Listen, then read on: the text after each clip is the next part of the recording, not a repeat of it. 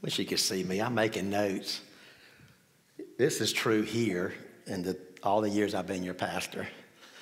And I've tried not to be a distraction with it. And when I go do services elsewhere and uh, whatever, I am working and changing and writing notes on my message up until the moment I come up. And I don't know when a sermon is really finished, Taylor, but at some point the clock just says it's ready. You go jump up. Wasn't that beautiful, y'all, singing? I knew we'd be off today. We, I don't know if you heard, just I've heard scores of people who have a COVID concerns in their extended family. And so, with all the cases going on, I just kind of suspected we'd be a little bit more hunkered down maybe this week and maybe even the next week. Be praying for folks. There's a lot of folks out there that have concerns out there in their extended family that I know, not only in our church family, but even outside our church family. I hope you're staying safe this morning. Let me, how about the parking lot? How's it looking? Doesn't that look a lot better, y'all? We got everything kind of really finalized on knowing what the striping was going to be Wednesday, Mitch, and make sure it, it met what the uh, inspector wanted on that one or two places. Then I was back out here Friday. The guys assured me they would finish up Friday. Uh, then Saturday got all the stuff up. And to me, it makes the parking lot pop. And uh, so it'd be neat to me. We got some pressure washing. I kind of shared this with uh, chairman of the board and vice chairman, you know, trying for us to try to decide what things we want to try to do ourselves and what things we'll do kind of with our maintenance uh, volunteers. But if we get everything kind of pressure washed and looking clean across the facility, I think it'll really be popping and looking good here. So it'll be a good thing to get done. We think we only know one more thing that's needed to pass final inspection in our building. And that's based on me meeting with our contractor last Wednesday and him kind of telling me this one thing. I passed it on to Mitch. I forgot to pass it on to the whole committee. And uh, so he's hoping to get that inspection done this week. And so I would just say, based on one of those things being a question mark, that one, one of the things in that thing doesn't make a lot of sense, does it? But just, uh, we'll see, won't we, Mitch? We'll see, we'll see. Jeff thinks it's worth a, worth a try. And so for me, that makes it worth a try. And I'm assuming you've heard, we've had some folks really have some things happen this weekend. Certainly Lauren's dad, the accident that happened to him, and the big surgery, major surgery that he had yesterday. You want to be praying for, for Lauren's dad. And uh, Carol Hedden, she's been in a great deal of pain since she got home. The plan is for her to call ortho, excuse me, the plan right now is that Coliseum Northside is going to call Dr. Robinson's office, Ortho Georgia, tomorrow and try to get an appointment set up for her to follow up with one of the surgeons and go ahead and get her surgery scheduled. So when I talked to Ronnie this morning, that would be a good way for us to pray that they would go ahead and get that worked out because they know the surgery uh, needs to hip, happen. And Jimmy has been, Jimmy Tipple has been real sick up at the hospital, y'all. And uh, blessed that when I called him, he was able to communicate, having a more coherent day. But uh, just be praying. They've done some scans and some tests. And I may mention this later in the message again. John Stokes, you remember us praying for John Stokes, John and Betty Stokes? John, uh, they were just doing a lot of chemo on John. And then they had to cancel the chemo because of some of stuff going on with bronchitis, then a touch of pneumonia, then a good case of pneumonia. Well, they just got him back in for a PET scan. He needed more chemo treatments, but here's what he found out Friday at the cancer center across from the Coliseum. He is cancer free. So they just immediately, I went back and forth with him. They knew he was going. So they, they both, his sister texted me, mom called me to let me know. And you know how they get to ring the bell when they're done with chemo? Well, because they thought he had two more chemo, he asked, Can I go to the other side over there and ring the bell? And uh, so I think that's neat, a praise. And so, in the midst of a lot of stuff going on, there is some good going on. All right, let's stand. Let's stand. And if you can come, if you can help us get some stuff down, and if you can come back at 1:30 to help decorate, the good news is we got people who know where things need to be. They just we could use some helping hands. And so, come back 1:30 if, if it fits your day to be able to do so. Turn. Oh, turn Psalm 107. Sorry, Psalm 107 brought five points with me to the pulpit this morning. This is the first verse of Psalm 107 in the New King James. It fits the wonderful songs that Andrea has led us to sing this morning. The psalmist said, Oh, give thanks to the Lord, for he is good. His mercy endures forever. Father, I pray you'd help me to convey what you've laid on my heart for this pastor's heart afresh this morning and for those here. Remind you of those that we've been asked to pray for with COVID concerns in their family. and even especially those that have COVID and are in the throes of it right now. Pray your blessing on our day, those that we've called out also by name this morning, be with them and the caregivers. And Father, again, it's your help that's needed here, your help for this moment in the service. And I ask for your help in Christ's name. And all God's people said, You may be seated, church. First point is this when we give gratitude, when we're thankful to the Lord, it honors God. Gratitude honors God. Matter of fact, it honors God anytime we give thanks. And you know what? Can I say this? It honors other people when we show gratitude for them, too. It shows esteem for them. I'll talk about that again in just a moment. I jotted down some things. See if my list is a little bit like your list this morning. I thank you for the wisdom you give. I thank you that you know everything that I need before I even know I need it. I thank you for your love, for your mercy, for your grace. I thank you for your help, for your peace, for the confirmation talks that you send my way, for the phone calls and the texts that come from seemingly nowhere that confirm some prayers I'm having with you. I thank you for my family. I thank you for my health. I thank you for bringing me through COVID. I thank you for my family's health. I thank you for protecting me and my family with another year driving. And I can go on and on and on and on. It honors God when we recognize Him. Lynn, I appreciate the sweet card that you and Louise, Louise, that you and Lynn sent last week. Here's the update on Toby that you asked about. He's, his, his leg is still tender, it's still sore to touch. It's actually now kind of a new thing that's happened since he had the procedure a few weeks ago. So Lauren's actually just going to make contact with the specialist at the Children's Hospital in Columbus just to be sure that this is kind of what they should have expected at this moment. But otherwise, he's running around like crazy. You really got to be touching it and messing with it for you to know anything. And so they're still hopeful and still believing that God's on the throne. And they're thankful that God has sent the right people to be there helping with Toby. It honors God when we show gratitude. You've heard me say how much I like Corrie ten Boom. It's been neat to see. Uh, Carly's one of our young people that I know post some beautiful quotes from Corrie on her Facebook page on occasion. Listen to this because this fits even when things are not great. She's referring to back when her sister and her Betsy were in the Nazi prison camp. And she's mulling this over and thinking about this event in light of Betsy dying while they were there. She said, Betsy, who was a giant in my life, would often hear people say how good God is. We prayed that it would not rain at our church picnic, and we look at the lovely weather. Yes, God, is, Betsy went on, yes, God is good when He sends good weather when we want it and need it. But God, Corrie goes on to say, but God was also good when He allowed my sister Betsy to starve to death before my eyes in a German concentration camp. I remember one occasion when I was very discouraged there. Everything around us was dark. And Corrie says, There was darkness in my own heart. I remember telling Betsy that I think God has forgotten us. And Corrie says that Betsy says to her, No, Corrie, he has not forgotten us. Remember his word. For as the heavens are high above the earth, so great is his steadfast love toward those who fear him. Corrie concludes there's an ocean of God's love available. There's plenty for everyone. May God grant us the ability, she says, to never doubt that victorious love, whatever the th- circumstances. It honors God in the midst of challenging circumstances when in the quietness of our heart, we thank Him for all that we know is good that He has sent our way. There's a lot that could be said there. I really feel, for purpose of the message, that's enough. It honors God for us to show gratitude. And we certainly want to honor and give glory to our God.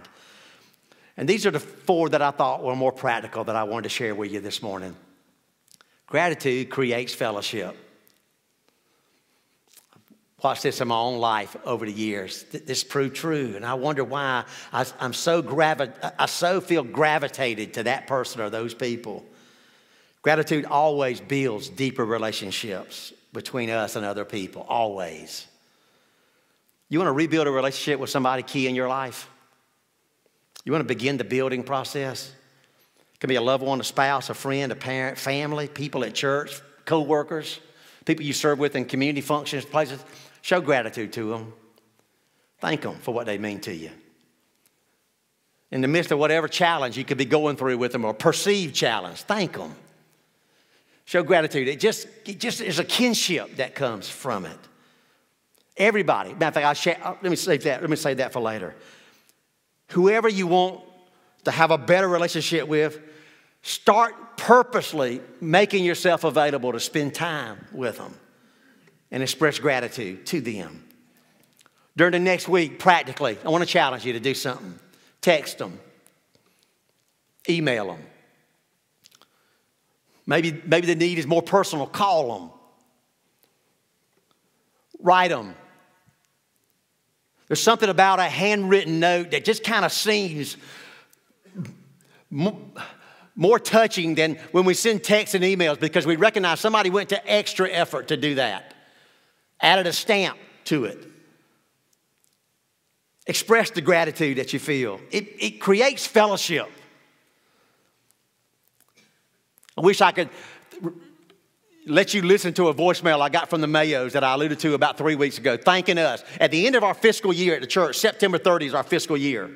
We, we send an extra gift of whatever's left in, the, in, the, in our mission accounts. We divvy it up among our four missionaries that are foreign missionaries, and we send them a lump sum at the end of the year. Two of the four I've received, actually, three of the four, received just the beautiful thank yous. This happens every year, but without fail. And one of them, Jonathan Mayo just chose to do a voicemail, just a lengthy two, three, four minute voicemail. Describing what's happening in Uganda and how much this extra gift is going to help us to meet the need. There's something about just being thankful to each other for what we've done or not done or um, should do for each other. The other one is the Moons, Don Moon. Brian, I forgot. It seems like it must be most Fridays or at least regularly. Brian and my son in law are in conference call with Don. They've got a, a, little bit of business venture going on that they're helping with concerning the missionaries, but regular contact. And Don referred to that in his lengthy email that he sent me, thanking us for all the years. These are two missionaries that we're close to 30 years supporting here at our local church. I mean, I think I feel confident with Don. A number of folks have been supporting for 30 years. But there's something, not just about the support and hearing about the work, about the gratitude that flows back and forth. When people say thank you and we say thank you, there's just a bond that comes there. It helps us to forget whatever little thing may, may be going on now or has gone on in the past. It builds fellowship. I got a contact from a preacher this week, preaching, blessed to do the service on behalf of Mildred Wyndham and Brenda Mitchell and Miss Pat's two children, uh, Sean and Sherry. Graveside service Monday for Miss Pat. Ran into a preacher working there with uh, that I've done revivals for, and just somebody I've got acquainted with over the years. See very rarely. We interacted, sweet. It's, it's, beautiful when you see people like this, like your loved ones, people that maybe you attended church with years ago that you're still close with, just brothers and sisters in Christ. We just hit it off, had a beautiful conversation. And then it was two days later, he sent me the most uh, meaningful text. We didn't chat about anything, just the most meaningful text to say how much I had meant to him. It prompted me to send a number of emails and texts to people this week, thinking just how much that contact meant when I received it Tuesday evening or Wednesday. It builds fellowship, it just bonds us together. It helps us to remember how much we love each other, how much we value and respect each other in the body and in a family. So I want to encourage you gratitude honors God, and gratitude creates closeness and fellowship. The third thing Gratitude strengthens faith. We can thank God when life seems to stink. Matter of fact, would it be fair to say that's the test of whether we're a shallow Christian or a deep one? How we navigate adversity and challenges. We can thank God when everything stinks, when everything seems to have gone and is going wrong. I feel for people, but I have also been monumentally blessed to watch people go through the hardest of circumstances, never waver in their walk with God, and never, never waver in doing what one wrote pause, look, search, examine your life, and see again how good God has been. And even in the midst of this, is still being. There's a promise that comes from trusting God and showing gratitude to God through some of the most difficult chances in to life. It helps us, it strengthens us, it helps, it helps us to care for others, to sense that needed grace, that needed strength, that needed help, that needed joy, that needed peace. It's impossible to quantify. As a matter of fact, that's what doctors say. Doctors still say ingratitude, it is, uh, it is immensely unhealthy. People that, that, that just in general express gratitude, live as thankful people, they have the healthiest of human emotions. The more grateful doctors say we are in life, the healthier we are physically, emotionally. So I want to encourage you to do what I purpose. I'm 37 years full time in ministry. It's been this year that I have purposely, intentionally said in the beginning of my prayers, I want to spend way more time expressing gratitude than I've ever done in my life. It has transformed my prayer life. Should have started this way sooner. I encourage you to do so. I was late, always in, incorporated thankfulness, always expressed it, but here, purposefully, to, it, before any list of needs and concerns, God again, just initially, you know what this, what this does, what God does for us? He just keeps flooding our hearts with those things. And He keeps us in the midst of whatever has happened or is happening right now. We're just reminded constantly how good He is. I encourage you to do so. If you're an early morning prayer, it's a great way to start your day. It gets the day off to a healthy start.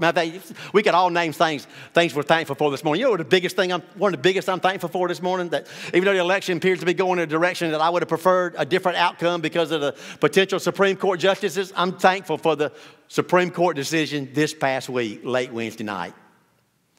5 4 decision. First time during the pandemic that the Supreme Court has held up the sacredness, the wellspring that comes from worship, and how fundamental the First Amendment is to our worship. Notice this. As fact, I purposely thought this is, this, is a, this, is a, this is a decision worth thanking God for. Because when this happens, it strengthens your faith. It's why, it's why these things, it strengthens our faith when we focus on those things. Helps us get, we've been through other hard times, helps us get through. And so I wanted to go read this opinion. Very seldom read these opinions. I'm not that bright. I wanted to read it. Listen, listen to a couple paragraphs that I brought with me to the pulpit. The five, including the new justice, Judge Barrett.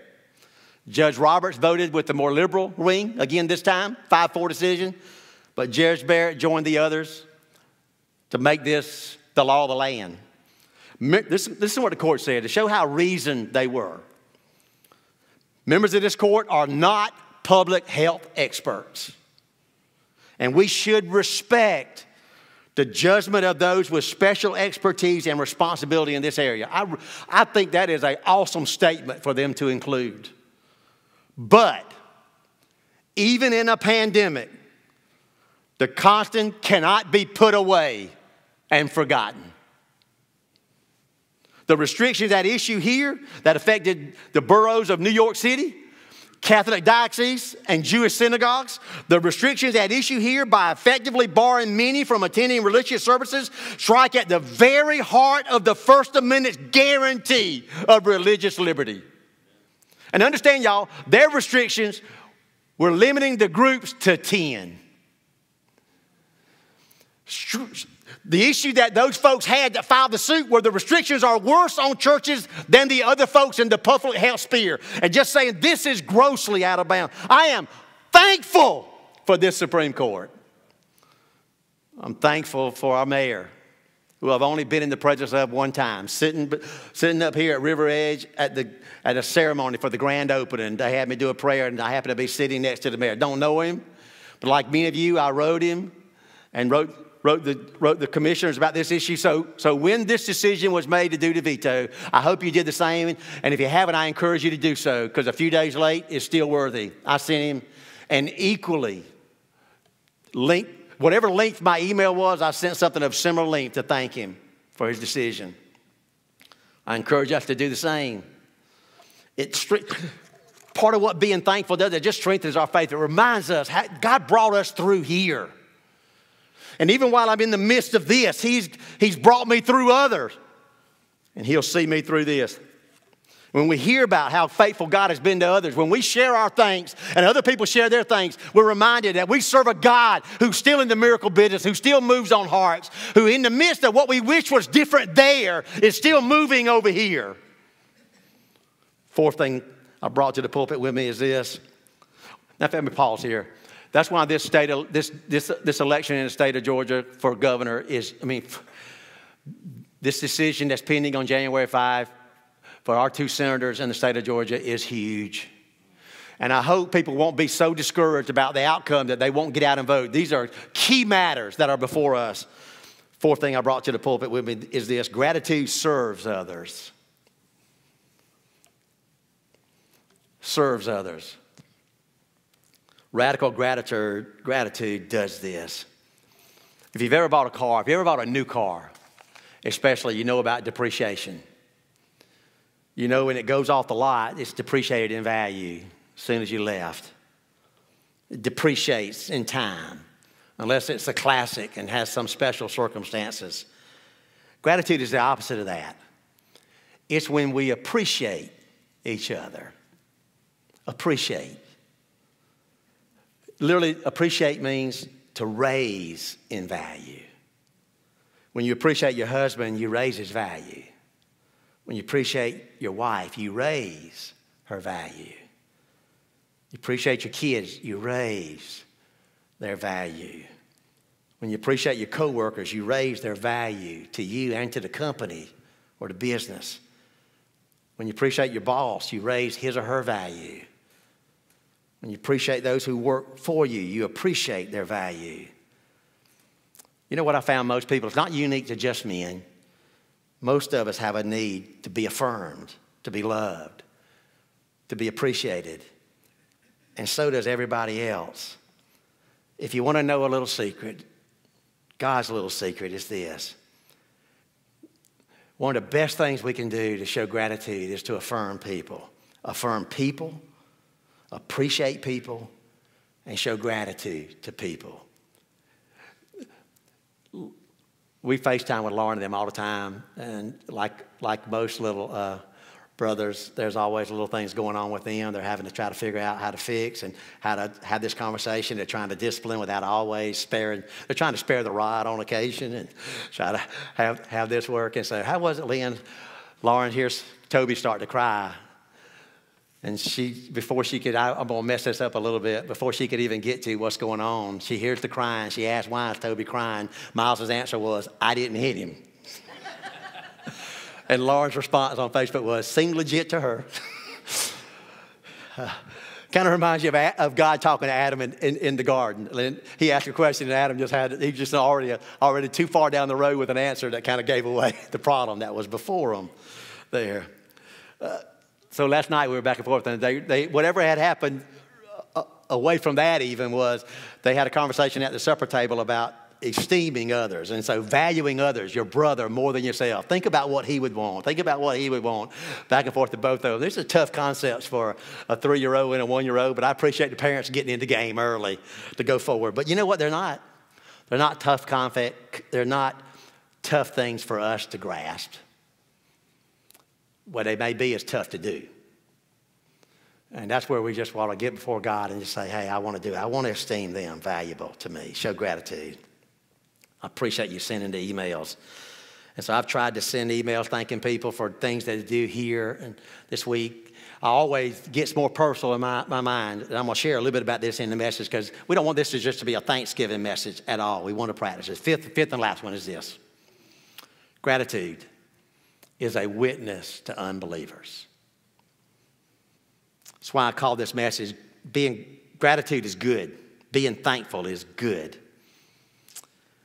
There are way too many down and out Christians, so called Christians, I think I would say. Too many woe is me, no joy, no smile, no good news ever. It looks like they just licked the lemon. We don't need this. We've got the best of best news to share. I love David Duncan. I love, he posts, I don't know, but David, he's posting stuff all the time here in Middle Georgia. Just love him in many ways, love and respect him. He shared this one that I've not seen in a few years, this past week or the week before. He shared one that kind of fits, fits here. Someone, excuse me, someone, somewhere is happy with a whole lot less than you have. I'm gonna tell you that's that can be convicting someone somewhere is happy with a whole lot less than we have. It's easy to look at our life and think about what we don't have and forget what we do have. And I want to tell y'all, in the midst of a crooked and very depraved generation that is cynical and critical, what they desperately need to see is that God's people are thankful and are encouraging and have an amazing ability to show this and to try to want to see it in others. Christians should be known. One person said this Christians should be known for radical love, radical kindness, radical joy, radical and radical gratitude. And then he goes on, there's a word for that. He said it's being Christ like. The ability to say thank you, Lord, is among one of the most wonderful things about being a follower of Christ. It is true. We can enter into his gates with thanksgiving and praise. And that's a good way for us to go. He is the good God from whom all blessings flow. And when a world so desperately needs to see it, what a tragedy for us not to exhibit it. Let me share six, these are six fast things put it, put it practical. Here's what I want to encourage you to do this week. Make a list of things you're thankful for. If you're like me, I make lists on my phone. So I kind of do this on my phone. Make a list of them. Before you fall asleep, maybe for the rest of this week, try to think of three things. The second one, three things. Make a list of things, but before you, you make your way to bed or whatever your routine is that you're heading to the bed or if you're like me, before you, the lights go out in the recliner, think about some things you're thankful for. Try to, try to at least list three from that day. Keep a journal. Keep a journal. If you haven't ever started one, start one. It's great to be able to look back and see how God came through and you showed thanks. And I want to I think most of you do this. Give thanks at meals. How many of you always do this? Ah, take, no, that's not fair. Not fair. Not fair. Do this. Do this. For most of us, that's three times a day. For, you're like me, uh, it's eight or nine, counting all the snacks during the day. But, uh, thank God. And not just in the same glib way. You know what's been needed at our house? Miles and Toby, when they were there, and now Cohen and Walker taking turns saying the blessing on Sunday dinner. Man, to hear these little prayers things they've been practicing at home at night and the people they're praying for that they call out afresh and again. Slow, with a pause in between.